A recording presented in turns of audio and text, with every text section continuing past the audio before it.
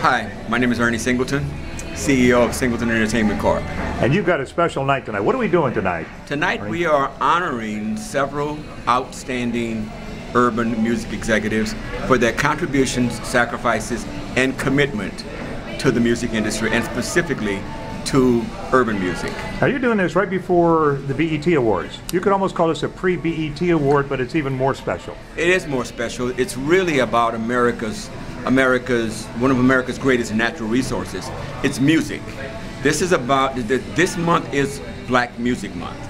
Um, Jimmy Carter proclaimed it in 1979, so we're into our 33rd year. We do this event as a Hollywood celebration that we hope will mirror and, and motivate people in other communities to do the same thing. A big part of why we do this is to educate people on the, the validity, the power, and the integrity and the importance of this American cultural piece that we call music.